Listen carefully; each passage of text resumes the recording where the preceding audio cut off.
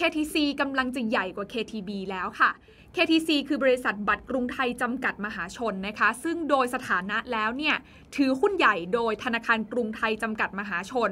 ก็ถ้าพูดกันภาษาชาวบ้านก็คือเขาเป็นบริษัทลูกของธนาคารกรุงไทยเนี่ยแหละค่ะ แต่ว่าถ้ามองในเชิงของมูลค่ากิจการหรือว่า Market Cap ในวันนี้สะท้อนจากราคาในกระดานหุ้นเนี่ย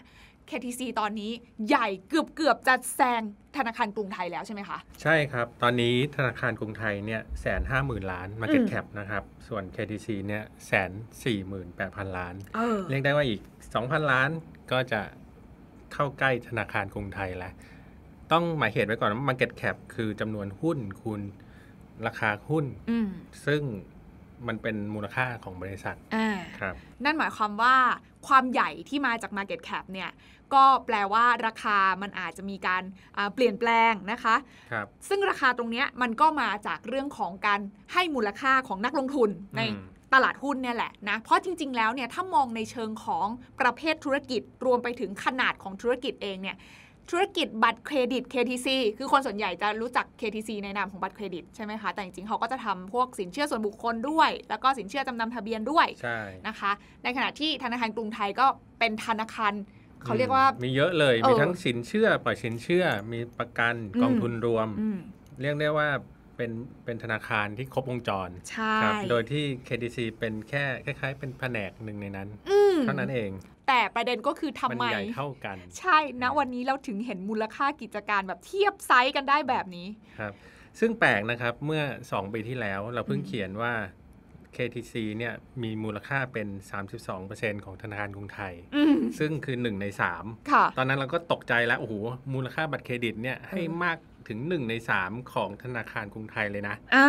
แต่มาวันนี้แปลกใจยิ่งขึ้นมาอีก เพอืราะมมันเท่ากันเลย เออเออมูลค่าบัตรเครดิตเท่ากับ มูลค่าของธนาคารทั้งเออธนาคาร ทั้งทั้งๆที่ธนาคารเนี่ยจริง ๆ แล้วถ้ามองในเชิงของสินทรัพย์ก็ตามรายได้กำไรก็ตามนี่จริง ๆ มันมันต้องมันใหญ่กว่า KTC เยอะเลย เยอะกว่าเยอะ อย่างเช่นปีที่แล้วนะครับ ธนาคารกรุงไทยเนี่ยกำไร 29,000 ล้านอืมส่วน KTC เนี่ย5,500อืมเรียกได้ว่าใหญ่กว่า 6 เท่าอ่าเออหกเท่าเลยเออครับซึ่งธนาคารเนี่ยก็กำไรเยอะกว่าค่ะส่วนรายได้เนี่ยรายได้ของ กรุงไทยเนี่ยแสนห้าอืมส่วน KTC เนี่ยหมื่นแปดอืมแปลว่าก็รายได้เยอะกว่าเกือบ10เท่านะค่ะครับเออซึ่งอืมประเด็นก็คือว่าตรงเนี้ยทุกคนน่ะเห็นตรงกันแหละว่าในข้อมูลข้อเท็จจริงแล้วเนี่ยธนาคารน่ะมันมีไซส์ของสินทรัพย์ที่เยอะก็ทำรายได้ได้เยอะนะครัคะบเพราะเขาประกอบธุรกิจที่หลากหลาย ในขณะที่กำไรเนี่ยก็ ถ้ามองในเชิงตัวเลขก็คือเยอะกว่าอยู่แล้ว แต่ว่าถ้ามองในเชิงของการทำกำไรสุทธิ อัตรากำไรสุทธิเนี่ยอาจจะสู้ KTC ไม่ได้ใช่ KTC ก็จะเน้นโฟกัสอยู่ที่เอ่อตัวบัตรเครดิตอืมเขาไม่ต้องมีต้นทุนเหมือนธนาคารไงค่ะธนาคารต้องมีสาขา มีพนักงานมีมีคนนับเงินอะไรต่างใช่ๆซึ่งก็จะเอ่อ KTC จะไม่มีตรงนั้นอ่าครับมันก็จะทำให้อัตรากำไรสุทธิเนี่ยเมื่อเทียบกับรายได้เนี่ยอืมมันก็จะ KTC จะเยอะกว่าอ่า แต่ถ้าเกิดพูดถึงเรื่องทรัพย์สินนะ อันเนี้ยแปลกมากเลย อืม K- KTC เนี่ยมีทรัพย์สินแค่ 80,000 ล้าน อืม ส่วนกรุงไทยธนาคารกรุงไทยเนี่ยค่ะ มีทรัพย์สิน 3 ล้านล้าน เออโอ้โห โอ้โหสามล้านล้านกับ 80,000 ล้านนี่เออ มงั้นส่วนของผู้ถือหุ้นบ้าง ครับ ส่วนของผู้ถือหุ้นนะครับ ตัว KTC เนี่ย20,000 ล้าน อ่าส่วนธนาคารกรุงไทยเนี่ยสามแสนล้าน ก็โอ้โหสิบห้าเท่าเออนะ เออครับ แต่ว่าวันนี้เนี่ย คนนอกที่มองเข้าไปครับในฐานะผู้ลงทุนเนี่ยเออกลับให้ value มูลค่าเท่ากันใกล้ๆกันใช่ตรงเนี้ยจริง ๆ แล้วมันน่าจะเกิดจากเรื่องของโอเคละอย่างหนึ่งที่แตกต่างกันชัดเจนก็คือรูปแบบการทำธุรกิจเขาไม่เหมือนกันครับ KTC โฟกัสกว่า แล้วมันโตได้ดีกว่าหรือเปล่าด้วยใช่คนก็เลยให้มูลค่ามากขึ้นมันใช่เป็นอย่างนั้นไหมคะ โตได้ดีกว่าครับอืมโดยที่ผ่านมาเนี่ยกำไรของ KTC เนี่ยโตขึ้นมาเรื่อยอืมๆซึ่งก็สอดคล้องกับมูลค่าหุ้นนะค่ะจำได้เลยครับว่าเมื่อหลายปีที่แล้วเนี่ยอืม KTC เนี่ยมีมูลมูลค่าเนี่ยประมาณหมื่นกว่าล้านเท่านั้นเอง ตอนนี้อืมแสนห้าหมื่นล้านแล้วอืมโตขึ้นมาเป็นสิบเท่าตัวเออใครที่ถือหุ้นตั้งแต่ตอนนั้นอะซึ่งมีนะอ่าเออก็ได้ได้มูลค่าเพิ่มเป็นสิบเท่าเหมือนกัน คือจริง ๆ ต้องบอกว่าหุ้น KTC ถ้ามองในเชิงหุ้นเนี่ยเป็นหุ้น growth ที่นักลงทุนในบ้านเราเนี่ยมีหลายคนที่สร้างความมั่งคั่ง จากการถือครองหุ้น KTC ใช่นะคะมันก็เป็นเลขการเติบโตตรงนี้ครับในขณะเดียวกันถ้ามองมุมกลับกันอืมธนาคารกรุงไทยเนี่ยก็เป็นหุ้นแบงก์อะก็ต้องยอมรับว่าช่วงหลังๆมาเนี่ยนอกจากการเติบโตอาจจะไม่ได้หวือหวาเท่าแล้วเนี่ยในเชิงของการให้มูลค่าจากนักลงทุนเนี่ยถ้ามองในเชิงของแบบอย่างตัวของ PE อย่างเงี้ยอืมมันก็อยู่แค่แบบ เจ็ดเลขหลัเท่ากเดียวอะใช่เลขหลักเดียว ตอนเนี้ย PE ของ KTC เนี่ยยี่แปดอืม ส่วนแบงก์กรุงไทยเนี่ยได้แค่เจ็ดอ่า เออก็ P แค่ PE ก็สี่เท่าแล้วนะเออที่ที่ต่างกันอ่า เออ ดังนั้นถ้าสมมติว่ามองในเชิงของความถูกแพงอะคืออันเนี้ยเราก็ไม่รู้ว่าจะใช้คำว่าอะไรดีเนาะระหว่างที่แบบแบงก์กรุงไทยอะโอ้โหถูกมากเลย หรือว่า KTC มันแพงมากเลยอะไรอย่างแต่ เงี้ย KTC ถ้าเกิดเทียบกับเดลต้าก็ไม่ไม่ไม่แพงนะอ่าเหรอ จำได้ว่าเมื่อวานเนี่ย กำไรเดลต้าประมาณ 5,500เหมือนกันนะอ่าอ่า KTC ก็ 5,500เหมือนกันอ่าแต่เดลต้ามาเก็ตแคปล้านล้านอ่าอันนี้แสนห้าโอเค โอเค ถ้าเกิดเทียบระดับความแพงก็อืมเออโอเคเดลต้าครับปล่อยเขาไปเถอะอ่า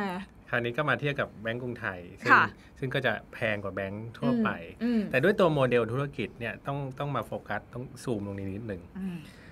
ตัว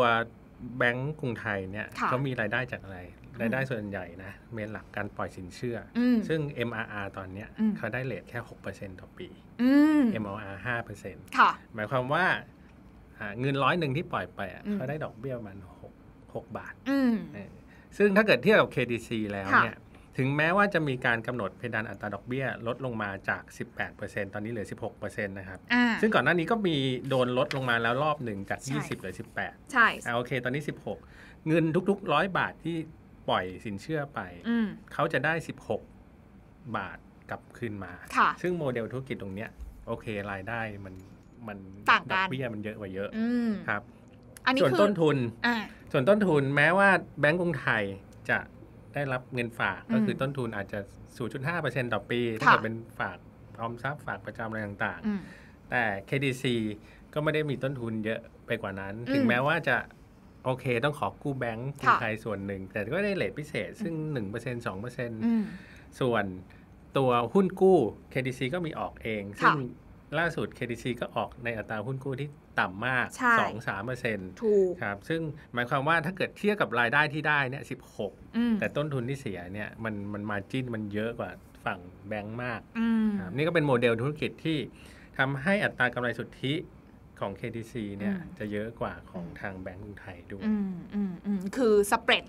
หครัรืบอความต่างของอัตราดอกเบี้ยเนี่ยมันชัดเจนอยู่แล้วแหละว่าไอ้ประเภทสินเชื่ออมแบบส่วนบุคคลกับสินเชื่อบัตรเครดิตเนี่ยมันสามารถเขาเรียกว่าคอมมานเรื่องของอัตราดอกเบี้ยได้สูงกว่า แต่ความเสี่ยงมันก็เยอะกว่าไงใช่ถูกไหมความเสี่ยงของทุกคนเนี่ยคิดว่าการปล่อยอาตัวบุคคลเนี่ยจะอืมมีเราเราจะมีหนี้เสียเยอะใช่ไหมครับค่ะแต่ในอีกแง่หนึ่งเนี่ย มัน diversify ไงอืมมันปล่อยเป็นล้านล้านๆคนเออเพราะฉะนั้นเนี่ยเล็กๆมันจะเล็กๆย่เยออะยๆมากอืมเพราะฉะนั้นมันก็จะเสียเป็นกลุ่มอืมๆเช่น ตอนนี้อาจจะมีกลุ่มอ่าพนักงานโรงแรมหค่ะรือพนักงานสายการบินอืมที่ที่เสีย แต่แต่ก็เหตุการณ์อย่างเงี้ยก็มันก็จะเกิดขึ้นไม่ไม่บ่อยอืมแต่ด้วยความที่เขาปล่อยเป็นล้านคนเนี่ยมันอืมโอกาสที่จะเสียตู้มเดียวเหมือนโครงการขนาดใหญ่ของกรุงไทยเนี่ยอืมก็จะไม่มีความเสี่ยงนี้อ่าธนาคารกรุงไทยเนี่ยจะปล่อยเป็นรายใหญ่ค่ะ รายทีหนึ่งหมื่นล้านใช่แสนล้านโอ้อืมโครงการขนาดใหญ่ แล้วบางทีต้องเป็นไฟล์บังคับจากภาครัฐใช่ว่าต้องปล่อยให้โครงการนี้ถูกเอ่อซึ่งมันก็บางทีมันก็ควบคุมไม่ได้อ่าเหมือนกัน แล้วเกิดหนี้เสียขึ้นมาอ่าโอเค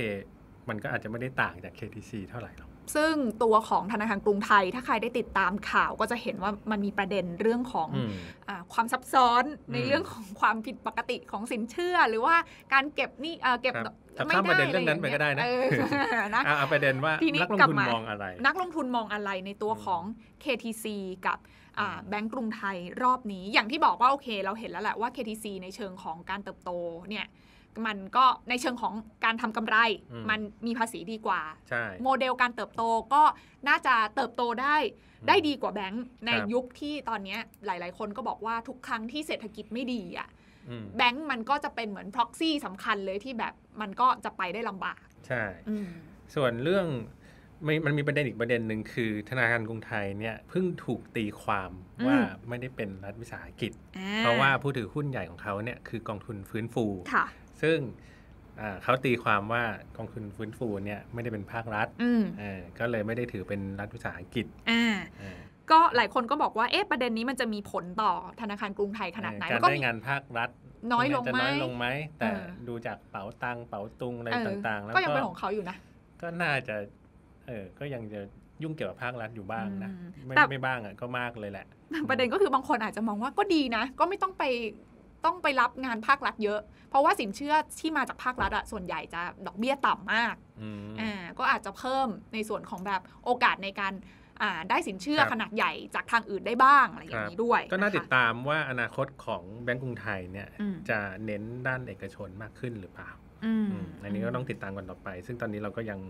ฟันธงไม่ได้ว่าจะอืมออกจากภาครัฐ มามากขนาดไหนอืมนะแต่ในขณะที่ KTC เองเนี่ยถ้ามองในเชิงของประเด็นความเสี่ยงหลัก ๆ แล้วก็คือจริง ๆ กลุ่มของอาสินเชื่อเนี่ยโดนไป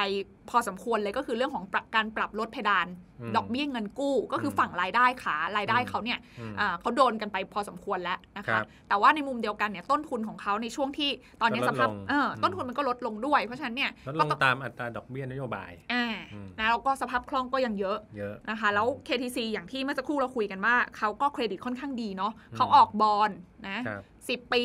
ต้นทุนก็ไม่ถึง3%ออืมอ่าก็ถือว่าแข่งขันได้ครับ เรียกว่าเขาล็อกต้นทุนอืมแล้วเขาก็ปล่อยสินเชื่ออืมในอัตราการทำกำไรได้ แล้วเขามีหน้าที่คุม NPL ใช่แล้วก็มีหน้าที่ เพิ่มเอ่อสมาชิกบัตรอืมอ่าซึ่งซึ่ง KDC ถ้าเกิดเราดูแคมเปญอะไรต่างๆ ไม่แพ้ใครนะค่ะเขามีแคมเปญมีสะสมคะแนนอะไรมากอืมายมอืมแล้วก็กลุ่มกลุ่มลูกค้าของ KTC ส่วนใหญ่เหมือนจะเป็นเหมือนบรรดาแบบ มนุษย์เงินเดือนอืม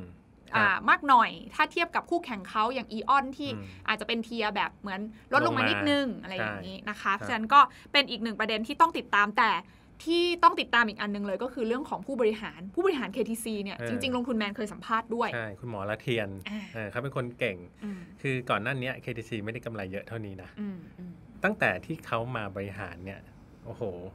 ตั้งแต่นั้นมาก็กำไรเพิ่มขึ้นเรื่อยๆ เพิ่มขึ้นเรื่อยๆ จนกลายเป็นหุ้นเติบโตอืมเมื่อก่อนจำได้นะ KTC เนี่ย PE ไม่ถึง 10 นะเออเออคือคนไม่ให้คุณค่าเลยไม่ให้คุณค่าเลย ตอนนี้ PE กลายเป็น 28เออเออ มันได้ได้พรีเมียมจากการที่มี PE เพิ่มเพราะคนคาดหวังการเติบโตอืมโอเค เป็นทางเอ่ออนาคตผู้ใช้บัตรเครดิตมันจะโตตามอ่ากระแสของสังคมไร้เงินสดอืมเพราะคนเดี๋ยวนี้ไม่อยากจ่ายธนบัตรกันละอืมก็เรียกบัตรเครดิตกัน KDC ก็ได้ประโยชน์จากตรงนี้ แต่อีกส่วนหนึ่งเนี่ยคุณหมอละเทียนเนี่ยอืมเป็นผู้บริหารที่เก่งมากอืมเขาควบคุมต้นทุนได้อืมเขาเอาทำให้รายได้เพิ่มได้ เมื่อรายได้เพิ่มต้นทุนไม่เพิ่มมันก็คือกำไร ใช่อืม พอกำไรเพิ่มตัว E เพิ่มใช่ไหมครับนักลงทุนให้คุณค่ากับ PE ก็เพิ่มด้วยอีกามันก็เลยแบบกลายเป็นอย่างนี้เป็นสองแรงที่ใช่ทำให้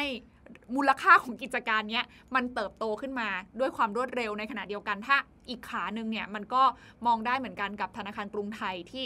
ถ้ามองตั้งแต่เขาบอกว่าตั้งแต่ต้นปีจนถึงปัจจุบันเนี่ยมูลค่าของธนาคารกรุงไทยเนี่ยลดลงมากว่า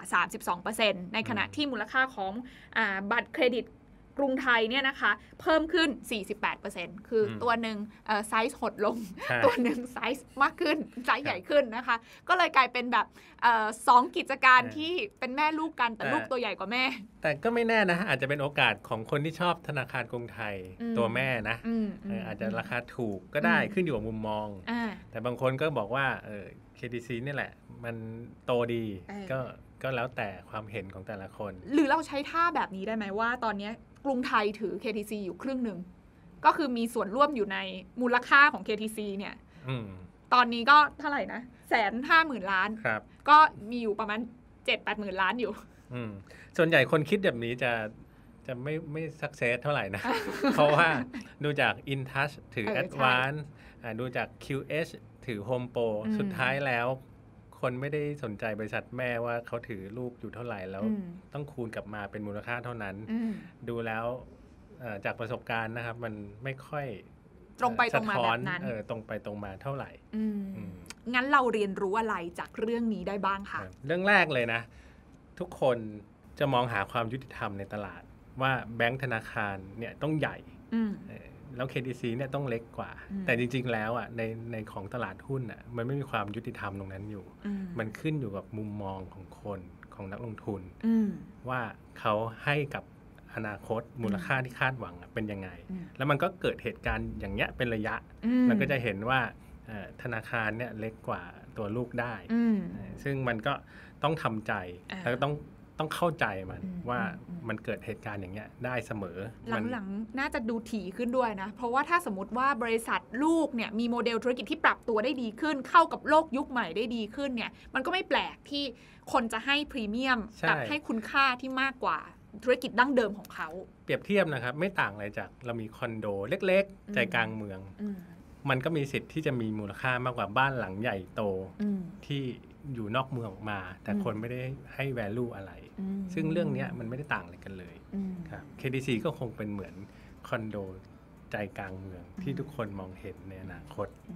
อืมแต่จริง ๆ บ้านหลังใหญ่ที่อยู่นอกเมืองอย่าง KTB อืมก็อาจจะมีมูลค่าก็ได้นะมอันนี้ก็แล้วแต่นักลงทุนจะมองว่าเป็นยังไงอ่านี่คืออีกหนึ่งเรื่องค่ะที่ลงทุนแมนจะเล่าให้ฟังวันนี้ เอามาฝากทุกคนกันค่ะ ส่วนถ้าใครนะคะอยากฟังเรื่องราวแล้วก็มุมคิดดีๆ แบบนี้นะคะ ก็ติดตามกันได้ค่ะทางลงทุนแมนพอดแคสต์นะคะ กด Follow กันไว้ได้เลยทั้ง SoundCloud Spotify Apple Podcast และ b l o g d i t นั่นเองค่ะ กลับมาติดตามกันใหม่ EP หน้า สวัสดีค่ะ